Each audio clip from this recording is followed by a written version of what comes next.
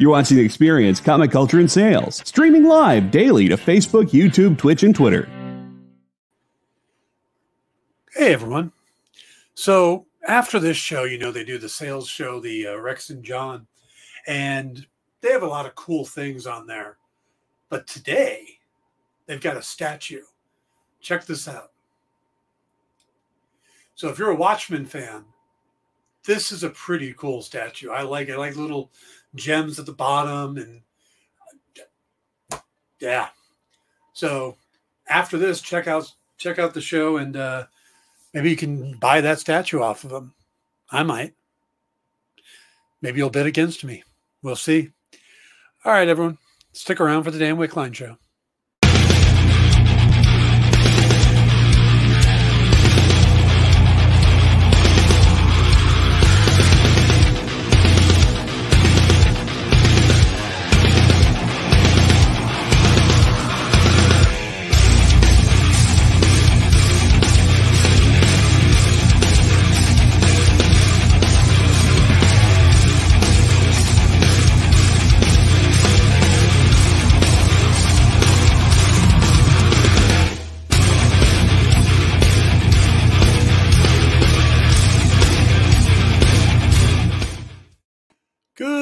Afternoon, everybody. Welcome to the Dan Wickline Show here on The Experience.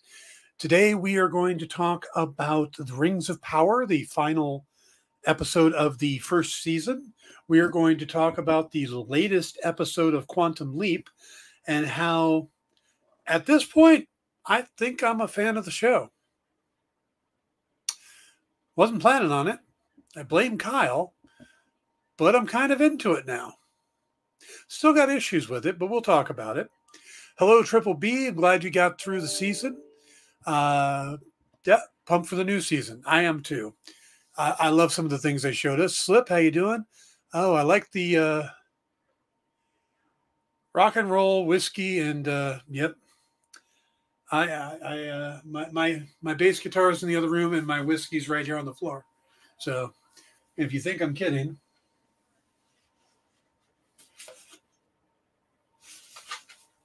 That's just the one I have in reach. Uh, I learned that if you drink straight whiskey, you don't have to drink a lot.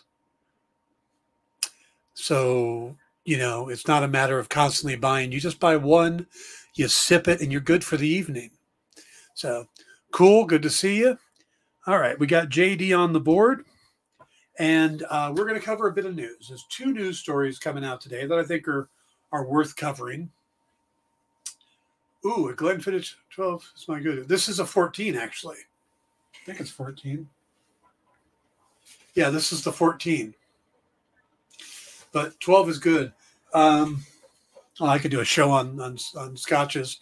Um, my one of my favorites is um, Octothorpe, not Octothorpe, Octomore. I had one that's probably just the most amazing kick-ass scotch I ever had but I love a good Lagavulin or Laphroaig as well. So, yeah, if you guys want to send me Christmas gifts, I'm up for uh, good scotches. Glenfiddich and Johnnie Walker is also a good one. Yeah.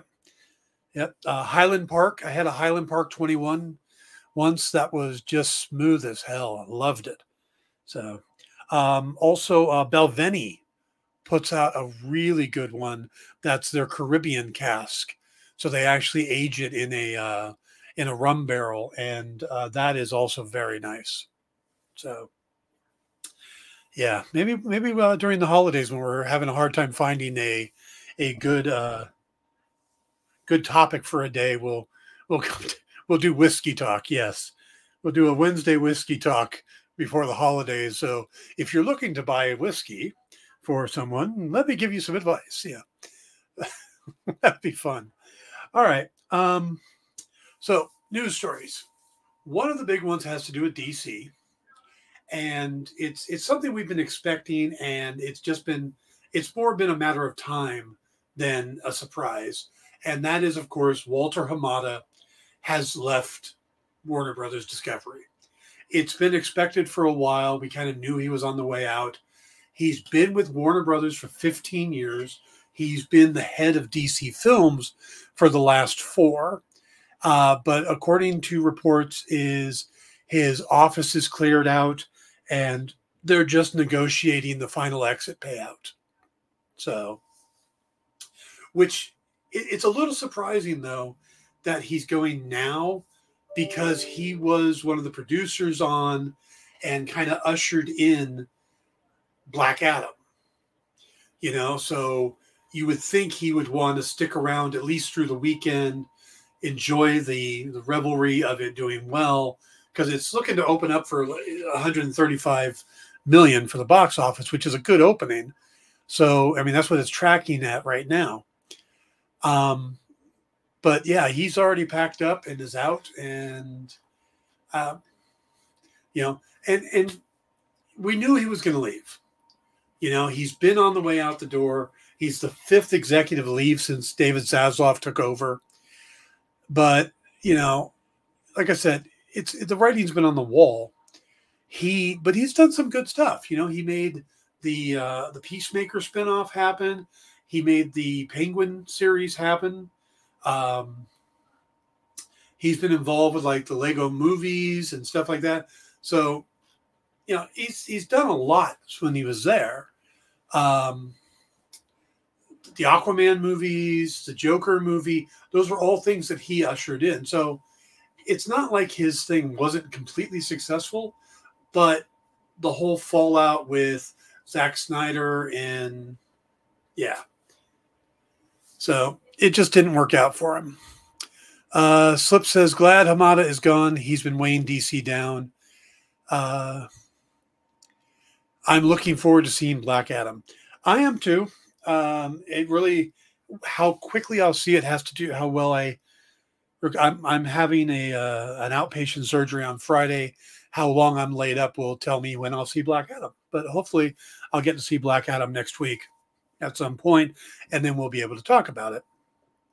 Uh, tomorrow, I will put together a little uh, primer on the character of Black Adam and maybe the other, you know, Doctor Fate and Hawkman and stuff for anybody who doesn't know. Just a brief one, as we also talk about the latest Andor but I'll get you. I'll try to get you guys ready for the movie if you if you don't have the back knowledge, because I know a, a, lot of the reviews right now are coming out saying it's this big action picture, but there's not a lot of character development. You that they they almost expect you to know who these characters are or the backstories on these characters. So let me see if I can help you guys out with that before heading off to the theater.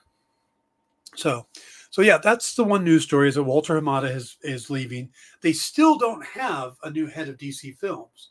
Uh, Michael DeLuca is kind of filling that role in until they get somebody. They were going to try to get Dan Lin, and that fell through. So it'll be interesting to see what's going to happen next. Now, um, the next bit of news I wanted to talk about is another one of those rumors that uh, are swirling around about the Marvel Universe. I may have mentioned this yesterday. I don't remember. But that is that Sacha Baron Cohen is being talked about as coming on board to play Mephisto.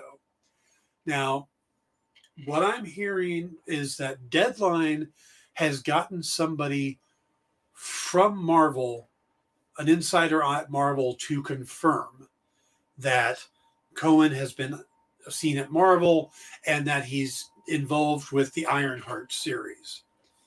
Now, the so everybody's leaning that he's going to be Mephisto, and it makes sense because Mephisto is tied into the villain of Ironheart, which is Parker Robbins or the Hood, is you know what his character goes by, and of course the hood and the boots that he gets are created by Mephisto. So it makes sense that Mephisto would show up at some point in the story. There's also speculation that he'll continue on and uh, be Mephisto in like Agatha Hart, House of uh, not House of Heart, now it's Chaos of Coven of Chaos. So we're looking at that Sacha Baron Cohen may literally be joining the MCU. It's not super confirmed, but it's it's getting pretty obvious. You know, it's it's kind of that that almost the Harrison Ford level where enough people are talking about it that that take the, that do things properly, that do the right ways, that you start believing them. Um, I'm going to come back to that slip in just a minute. But the other character that some people are saying, well, maybe what he's coming on board for, and that is uh, Dormammu, because in the first appearance of Dormammu, they just had um, Benedict Cumberbatch voice him, and he's a, just a CGI creation. But when they get to the point of actually having him as a character, I de- people doubt that uh, Benedict will do double duty again. You know, if the if uh, the third Doctor Strange movie has Dormammu in it, since Clea's in it, it makes sense Dormammu. That they're not going to have him be the guy, you know, again. So, but I think the Mephisto one is probably more likely, and I think facially he kind of works for it. Uh, so, uh, Cohen has this long face,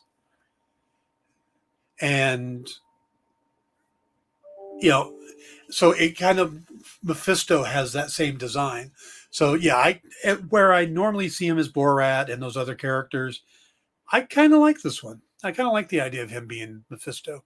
So we'll have to see how that pans out. Okay, Slip, you said a lot of people have been saying that The Rock should take the Kevin Feige role for DC. Um, my I disagree with that idea because what they're looking for is the Kevin Feige type. And the thing about Kevin Feige is he's kind of the the backbone of Marvel. He's the creative force behind it. And that's all he does. If you're going to bring somebody in to control the universe. And look, there's a point now where they're talking about maybe they need a second Kevin Feige at Marvel to run the television side so that, you know, he can focus on the movies because there's so many projects going on at the same time. And and so you don't want to bring in somebody who is doing multiple jobs. You don't want somebody like uh you know, somebody said that Matt Reeves or um, Todd Phillips or just some of these other names have been floating around there. No, those people are writers and directors. That's what they do. Let them do that. You need someone who is a producer, who knows how to produce, how to put things together, how to schmooze uh, creative people. Uh, I mean, because that's what Kevin Feige does. Is he goes out there and he convinces Harrison Ford – to take over a role left by William Hurt. He convinces Robert Redford to come in and play the bad guy in a Captain America movie, or Tommy Lee Jones to play a colonel in a Captain America movie, or Garry Shandling, or I mean, just think of some of the names that they've gotten to come in and how that's worked out. You know, Michael Douglas and Michelle Pfeiffer as Ant Man and the, the original Ant Man and the Wasp he he gets these people and he has these meetings. That is a job unto itself. The Rock is an actor first, and he produces his own movies. I'll give him that. But you want him on the screen. You know, Black Adam is if it works, it's because of Dwayne Johnson, not because the producer behind it did a good job. Because you know, it's just going to be people are going to go see the movie because of Dwayne Johnson and Pierce Brosnan and Aldis Hodge, and they want to see that. And some people are now want to see it because of Henry Cavill, but yeah, um, yeah. So I, I, I like how people are fans of his, but The Rock does a certain type of movie. Now I understand that Black Adam is is something different for him you know, I've seen some of the reviews that talk about how this is the first time that The Rock isn't coming across as really good or really nice. He's coming across as an anti hero, he's coming across as dark. And good for him. I'm glad he embraced that role and is willing to do that because that'll open up new things for him. And if he does it well, that'll be great. You know, maybe even turn to the point where he starts playing a villain occasionally just to mix things up. I mean, yeah, sure, there was the Scorpion King, but do we really count that? Um, so yeah, I nothing against The Rock.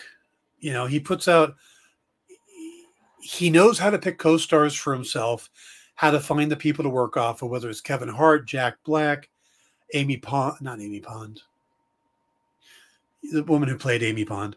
Um, just down the line, he finds the right co-stars, but do you want him making the decisions on who's going to be the next Batman or Superman or any of that stuff? Yeah, I think I think the end credit scene in Super Pets was his nod to change the change in character. Yeah, he has been pushing for years. And Walter Hamada's exit, Walter Hamada is one of the people who did not want Henry Cavill back as Superman. And now that he's gone and David Zaslav is there, we're getting Henry uh, Cavill back. So, Karen Gillan, thank you, Jay. Uh, Slip says The Rock played a dark character in Doom. I thought he was a great villain in that. Yeah, in the early in his early acting, he did a lot of villains, but then he took on these, you know, heroic roles in uh, the Jumanji movies and the Fast and the Furious movies, and you know, he's kind of got that role now. Or even the uh, what was the movie he just did with Ryan Reynolds and Gal Gadot? Red something or you know, again, he plays the good guy until the twist. And, yeah so I like seeing him branch out or go back to the darker characters. And I am really looking forward to this movie. And I'll tell you, in all honesty, Pierce Brosnan is the first reason I'm going to see that movie. Pierce Brosnan as Dr. Fate had me. Right there. Red notice. Thank you. Then Aldis Hodges Hawkman was my number two. Then we get to The Rock. So, yeah. If they said it was a Dr. Fate movie with Pierce Brosnan it, I'd be there. Aldis is awesome. He was one of the best parts of uh, Leverage. And um, I, I, got to meet him for a couple minutes at a convention. He just, uh, at San Diego Comic Con, he walked by and um, I was doing a signing, I believe, at the Avatar table. And he just, or, or maybe Zenescope, and he came by and just, oh, hey, what you doing? We talked for a little bit and just super nice guy. But yeah, Triple B, when, when I see The Rock, I only see The Rock. And I understand that. And I think that's the part of the problem with uh, some of these wrestlers is they become so much the persona they do in wrestling that it's hard for them. It's hard for people to disassociate themselves with that. You know, I mean, some wrestlers have been able to pull it off, but I mean, how many people still see John Cena or don't see him when they see the Peacemaker, you know, stuff like that. Uh, Aldis Hodge, uh, you should watch Leverage, especially if you can go back to the original series when Timothy Hutton was still in it. It is brilliant writing, brilliant acting. It is a fun uh, series with a bunch, like every episode is a heist, you know, yeah, City City on the Hill. Who does he play opposite on that? Kevin Bacon? Is it Kevin Bacon and Aldis Hodge? Uh, yeah. Uh, what was it? Uh, Jay said, hang on. Spam call. Um, it's like Will Smith for me. Will Smith is always going to be Will Smith, but I'm okay with that. Yeah, John, that's what we're talking about. With uh, we all want to, can't wait to see Black Adam. Hawkman will be the first prepare, first performance I'll see of his. Well, cool. I think you'll like him. He's a really good actor. So, yeah, if you get a chance to go back and see Leverage, they just started doing new episodes of it. Uh, I think you can see them on Amazon Prime. But I loved when uh, Timothy Hutton was part of it, and you know, it was just a great series it, it was funny that was on and White Collar was on, and around the same time they were running about the same time, and those were my two favorite shows on the air for a long time. You know, and then they both ended. So, all right. Uh, let's see. We're at the 20 minute mark. Let's go ahead and we will take our first break. And when we come back, let's uh, talk a bit about Quantum Leap, and then we'll talk about the uh, season finale of One or the Ring of Power. I always to say the One Ring, Rings of Power. So we'll be right back. Did you know that every experience show, including some exclusive content, streams on Twitch? Check it out twitch.tv forward slash the underscore exp. Or just scan that QR code.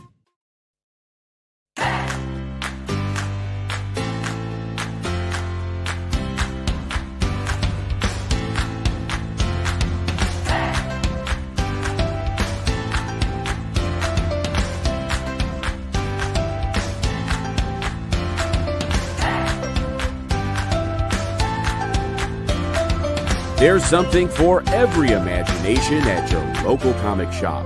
Visit ComicShopLocator.com to find a store near you.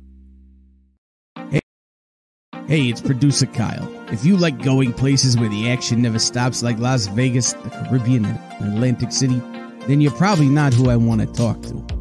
But if you want to surround yourself with amazing comic books and comic book content, made by a devoted group of smart and funny industry insiders. The Experience Members Club was made for you. You can join the experience by becoming a supporting member of our YouTube channel. You get access to exclusive content that no one else gets, like members only live streams, pre-sales, one-on-one Q&As with production staff, and other content that's exclusively for members. Plus, for a limited time if you sign up now, you'll be entered into our giveaway of a slabbed comic book. Just call this 1 8. Wait, hold on. It's 2022. No one makes phone calls anymore. Scan the QR code at the bottom of the screen or just visit the membership section of our YouTube page and you'll be on the VIP line of the comic book buffet, baby. Look at the size of those perks. Join today and I'll be saying, Who loves you, baby? Me. The, the, the answer is me.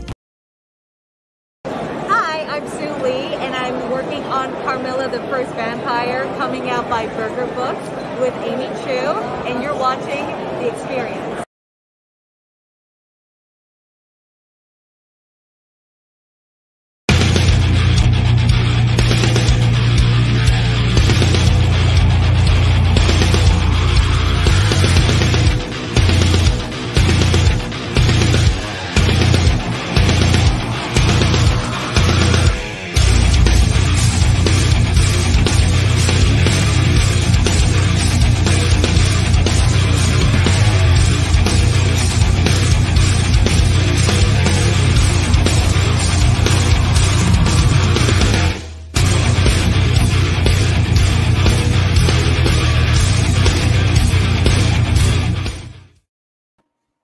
Welcome back to the Dan Wickline Show. We are going to be talking about Quantum Leap, but I wanted to uh, say one other thing about leverage that I brought up.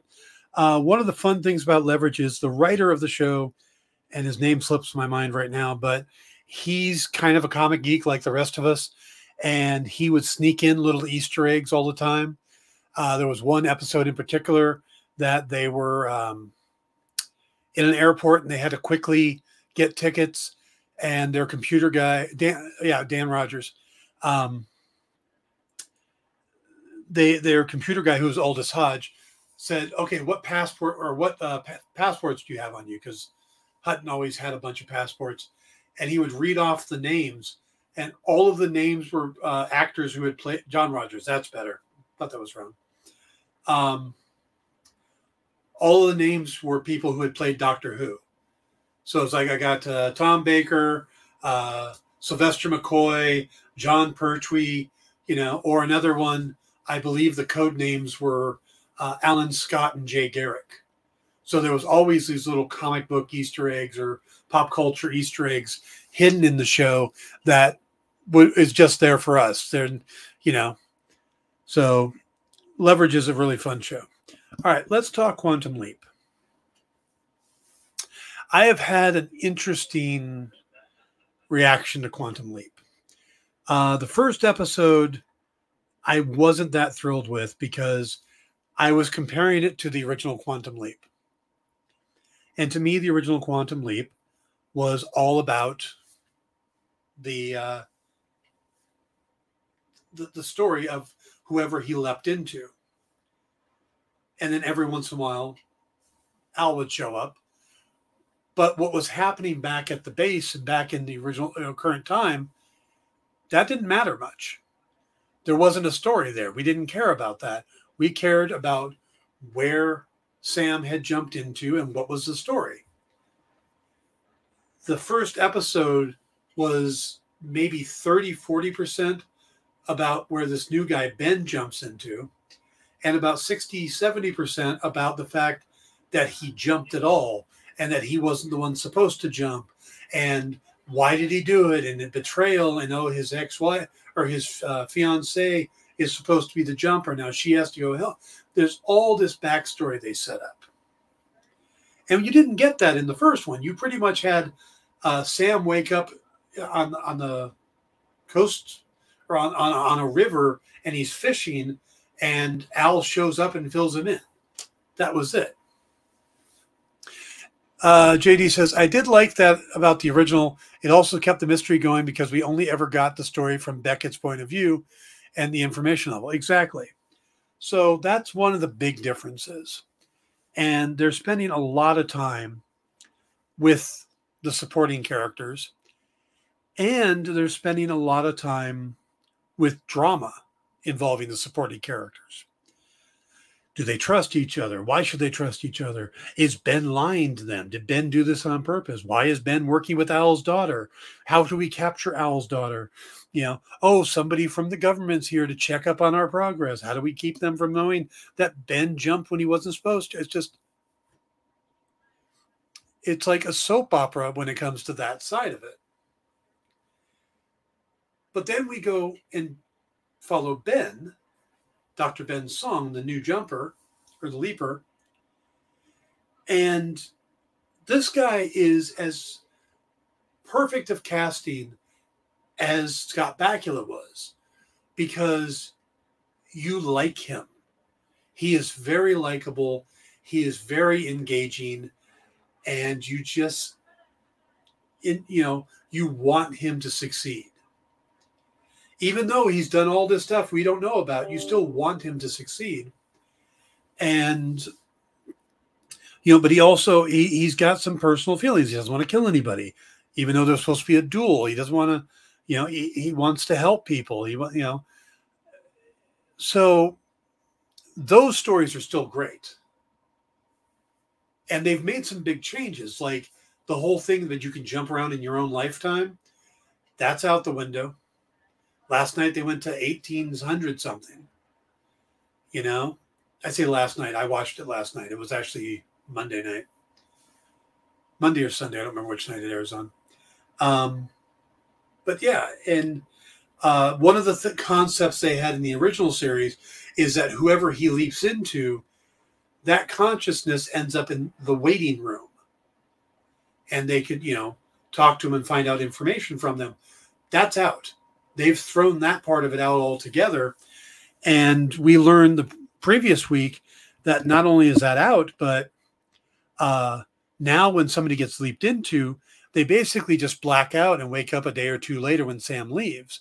And we know that because one of the supporting characters, uh, a guy named Admiral uh, Admiral Magic, they call him Magic, uh, who is uh, played by Ernie Hudson, is someone that the original Sam leapt into, and it it's they took the character from one of the original episodes and they just aged him up to be Ernie Hudson.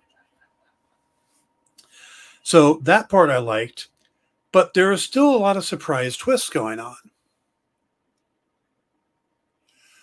Assassin's Creed series reveal incoming? Josh? Is that something a new, breaking news? Slip says, I like seeing references in the movies. I saw one recently in Morbius. The boat he was on was called the Mor- yep, a nod to the director of Nosferatu, F.W. Murnau. Murnau, yes. Is there an Assassin's Creed series? Not seeing anything on deadline yet. Okay. If that does break, we will uh, grab the article. Um, but they've been doing stuff in this series that I do like a lot. Besides, like I said, Ben, I like the interaction. I like the characters in it. It's just it's there's a lot of drama. But last night they did something that I don't remember ever happening in the original series. It might have, but I'm thinking no. Ben leapt into somebody in the 1800s, and right before he was about to leap out, somebody walked up to him. And uh, actually, I should pause for a minute. Put the spoiler thing up for me, please. Because if you're not current, this is a spoiler.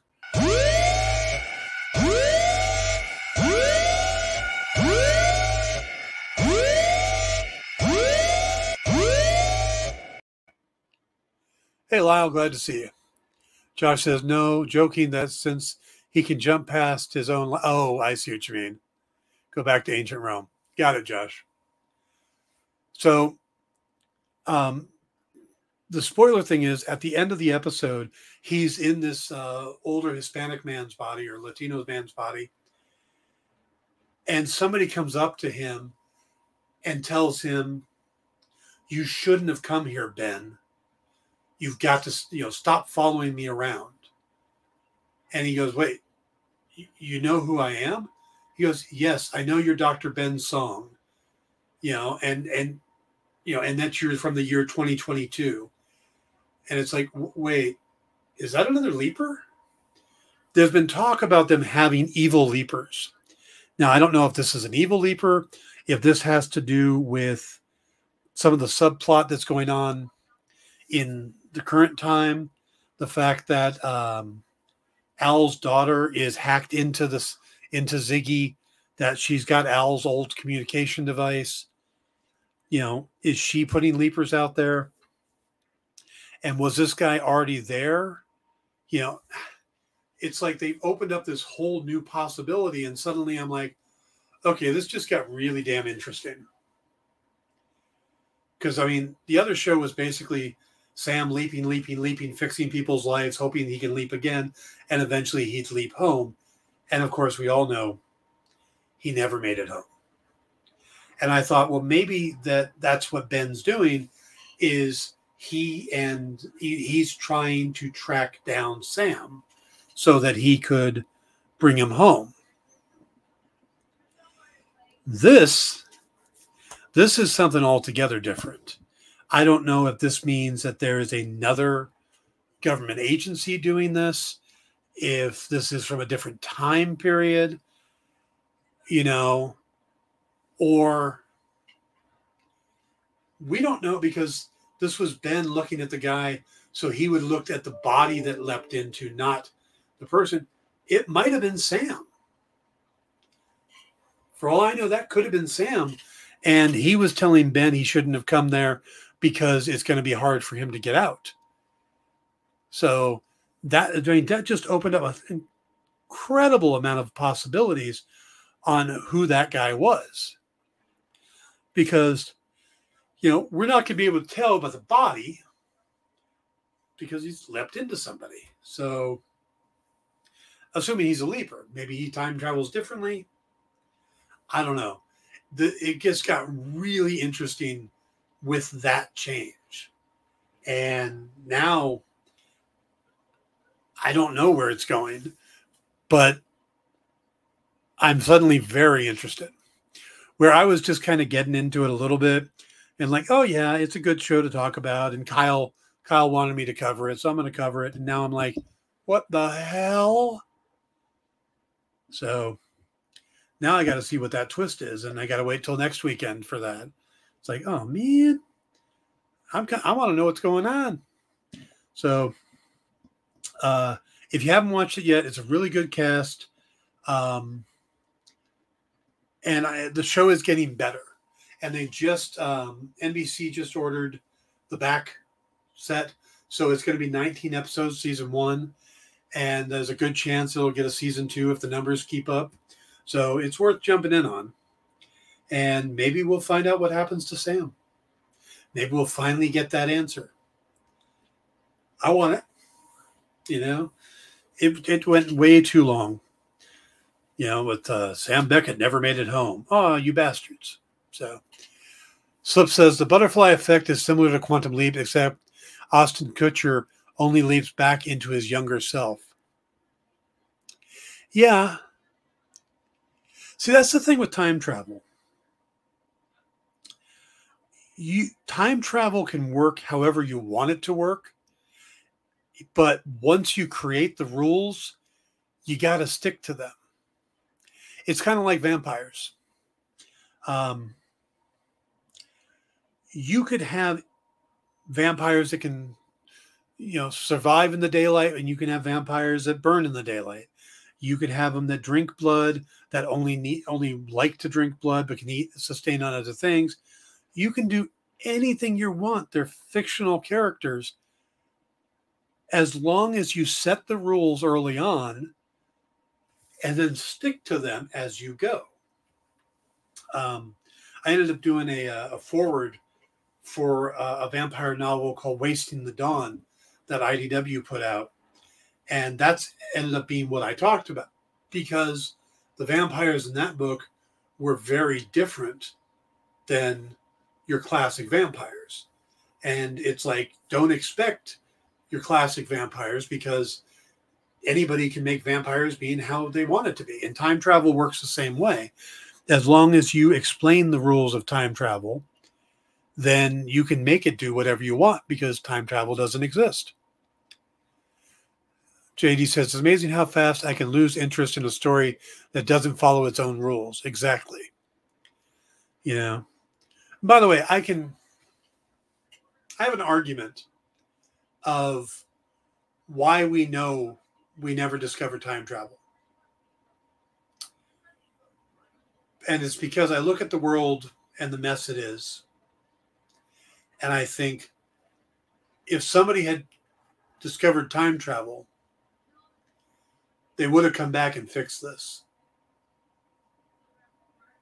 And I had that theory for a long time.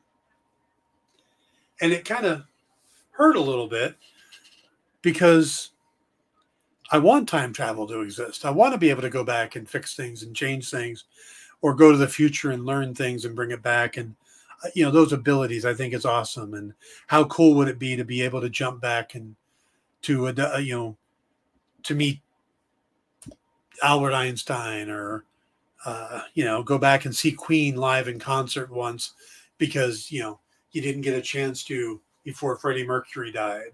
Those kind of things. Time travel will be great for that. But when I thought about, you know, somebody would have made changes already, it made me think that time travel never happens or, you know, if in your lifetime you could fix time travel, wouldn't you have already jumped back? And then I thought, well, wait a minute. What if somebody already has?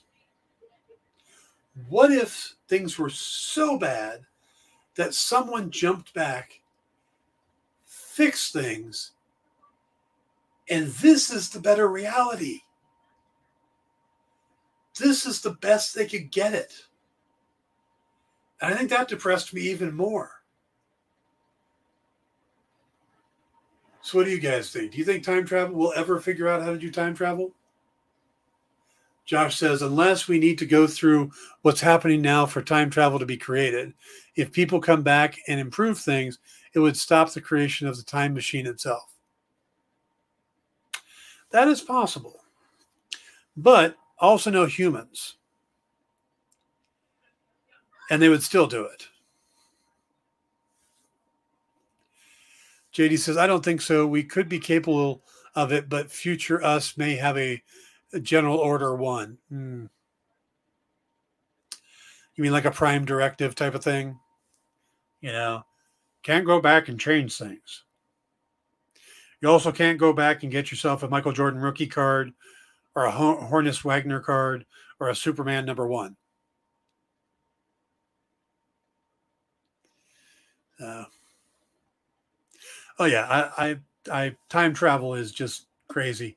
Um, what's funny is there's a company in England that does little like radio programs, and they get actors, and they came in and they reached out to me about a year or so back and asked me to write like a 10 minute story. And I took my time travel theory and I have it play out in the conversation between two friends at a like a uh, an English version of Starbucks, and uh, they're talking about time travel and, and and the theory I just put out there. So there's a 10 minute radio program out there called "The Trouble with Time Travel" that I wrote, that is performed and uh, you know, and it, it just runs off of the theory I have about time travel. Josh says, that's why there's a secret force of time travel assassins that come back and kill the rogue travelers who break the rules. The TTA, or Time Traveler Association, or the Time Variance Association. Yeah. Yeah, I think that would be interesting. JD says, I like the idea from Interstellar. Future humans can travel, but they are so advanced and far removed from our current experience that they wouldn't know what to change. Ooh. Josh says, see my upcoming comic I just invented right now. Time Killers, issue number one on stands never. well, Josh, you can write it whenever you want and just come back and put it on the stands tomorrow or today, since it's New Comic Day. Just travel back and have it come out today. Triple B says there's an old episode of Art Bell where he talked to a guy who said he tra- time travel. Oh, Art Bell. I haven't heard I haven't thought about Art Bell in a very long time.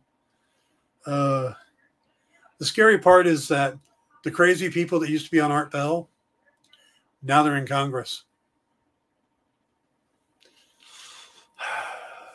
All right, let's take our second break and then we'll come back and we'll talk about the season finale of the Rings of Power. We'll be right back. Join the party. Head over to our link tree to find all the links for everywhere the experience is all the time.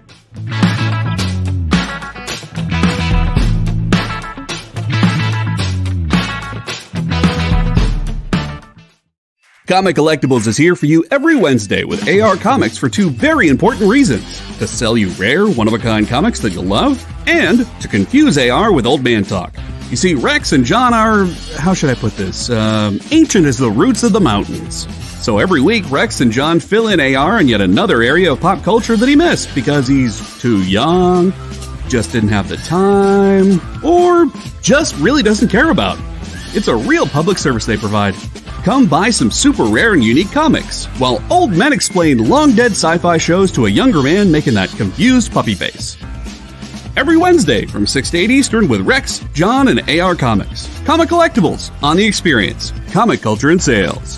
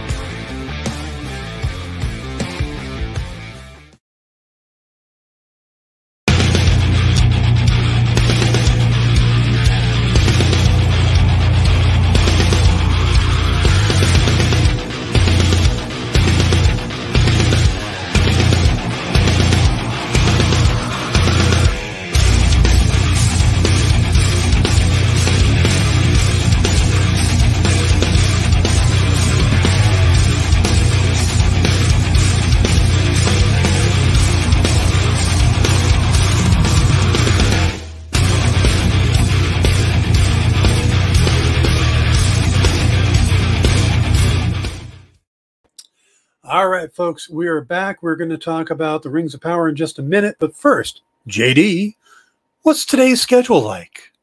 Well, today we have a uh, delightful menu of delights for you.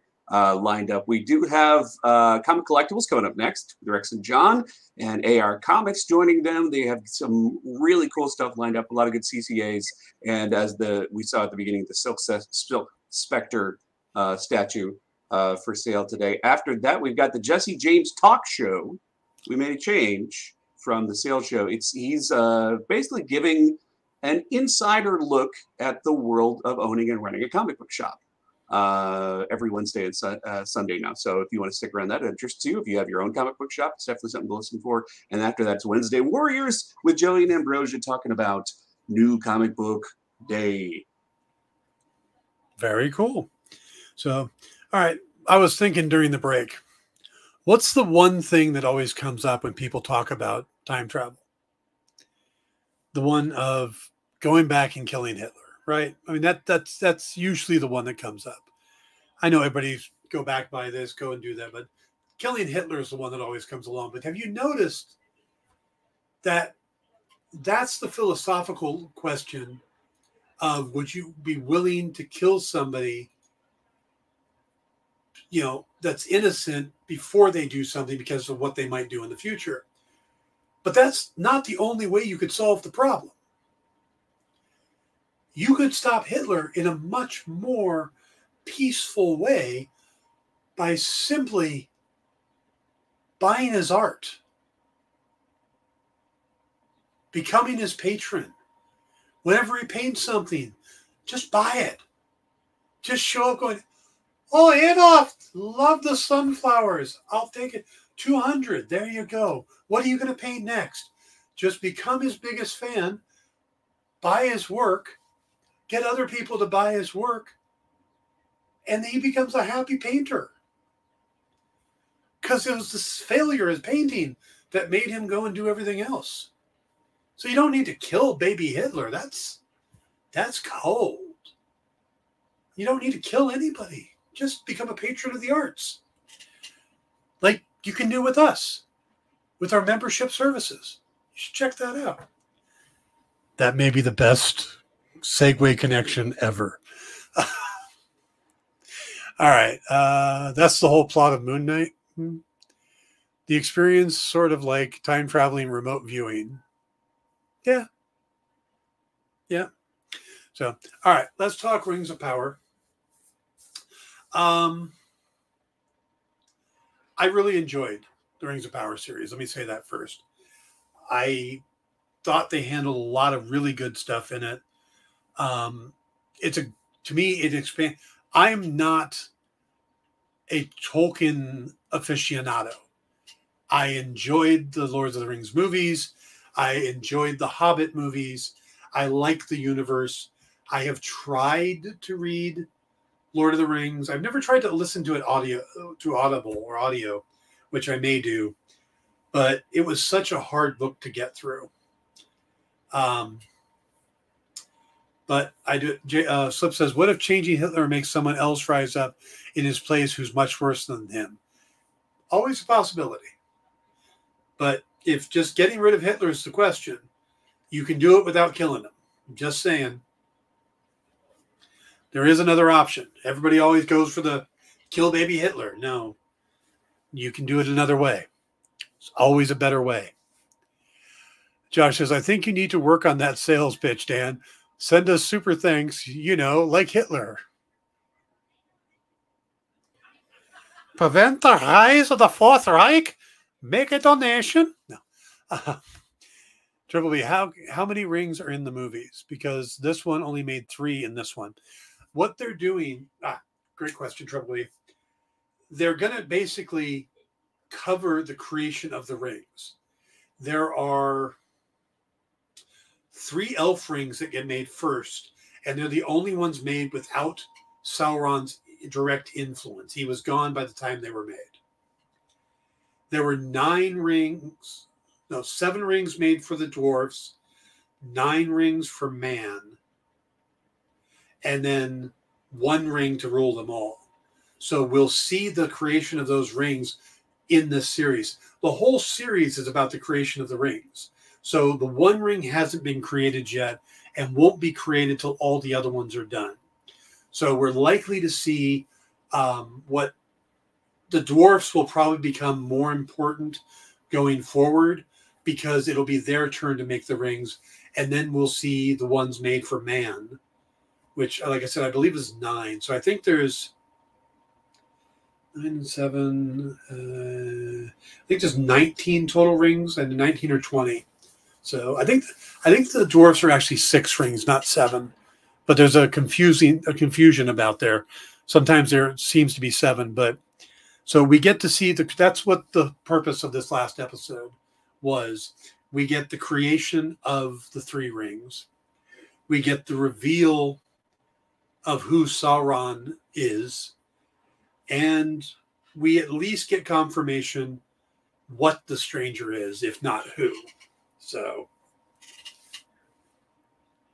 Three rings for the elven kings under the sky, seven for the dwarves lords in their halls of stone, nine for mortal men doomed to die, one for the dark lord on his dark throne in the land of Mordor. Okay, so yeah, it was three, seven, and nine plus one. So that's a total of 16, 20. Yeah. So through the five seasons, we'll get all 20 rings. Um,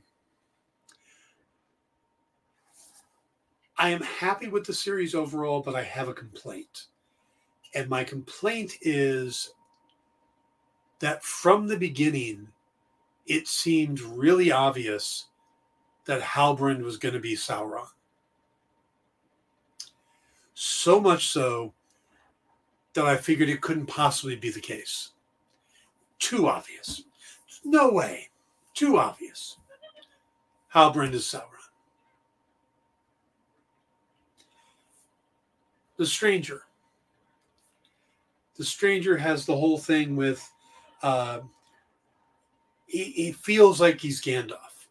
Now, it doesn't make sense for him to be Gandalf because in the Tolkien writing, Sauron is the first wizard to come down.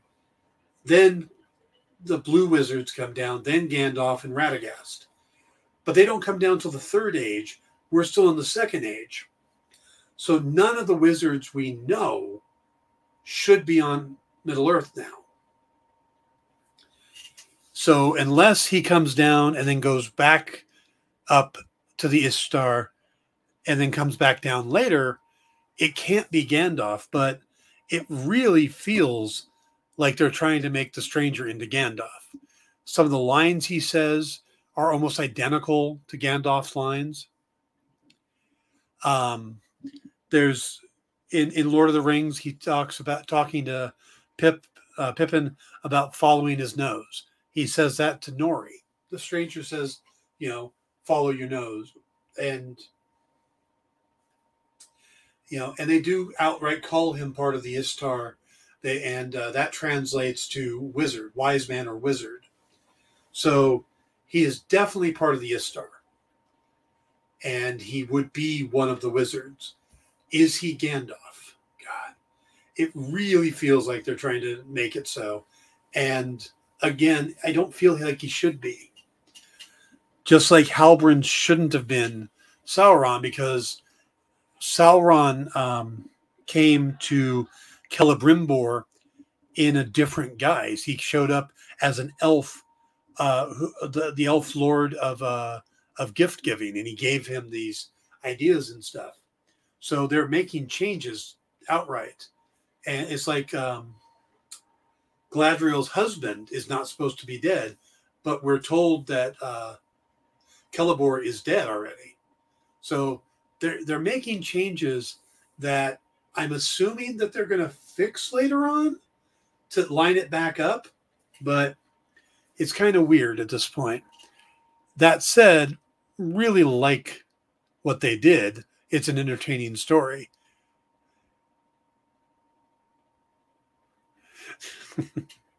no, it's cool, triple, triple B, and uh, JD's my backup. If I if I stumble on something, he knows to hit Google and uh, fill in fill in for what old age is forgetting. So, but I, I was right actually. I had the right number. I just couldn't remember if the uh, dwarfs were seven or six.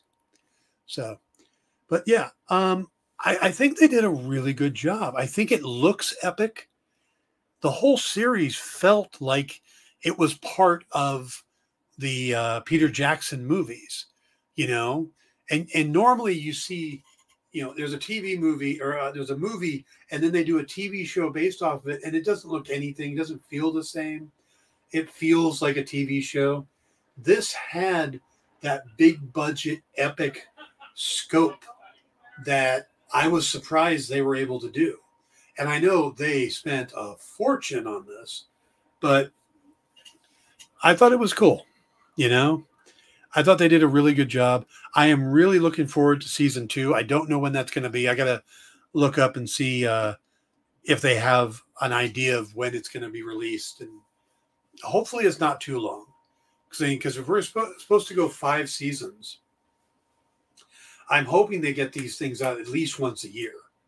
Because if not, then these actors are going to age up and age up and age up. And where most of them doesn't really matter, but at no point do I think the guy playing Elrond is ever going to look like Hugh, Hugo Weaving. So we don't want him to age up too much. You know, I could see Galadriel starting to look like um, Cate Blanchett. There's enough similarity, but the Elrond guy does not look that much like Hugo Weaving. To the fact that he was also cast to play young um, Ned Stark in Game of Thrones, and I don't think he looks like uh, Sean Bean either. So, all right, guys, looks like we're coming up to the end of the show. Didn't talk too much about uh, Rings of Power, but if you have any questions about the series, anything you'd like me to go more in depth of, let me know, and I'll be happy to dig a little deeper into it and cover it. Uh, you can do that tomorrow or anytime next week we're going to have a little bit of a slowdown. We've been covering She Hulk and all these shows, and now we're slowing down a little bit. We'll still have Andor, we'll still have Quantum Leap. I'll probably start looking at the third season of uh, Pennyworth, maybe the new Teen Titans, but what we're going to cover. So if there's anything you guys want, like Ed, Ed asked for a, a primer on Black Adam, I'm going to do that tomorrow. So if there's anything you guys want me to cover, want to know more about, just let me know and we'll see when we can work it into the show. So stick around for Comics Collectibles and then Jesse James and Wednesday Warriors. Great lineup here. And check out our membership services. And we'll see you all later. Have a great night. Get the inside scoop on everything happening at the experience every week. Join our mailing list by scanning the QR code at the bottom of the screen and then watching your email inbox.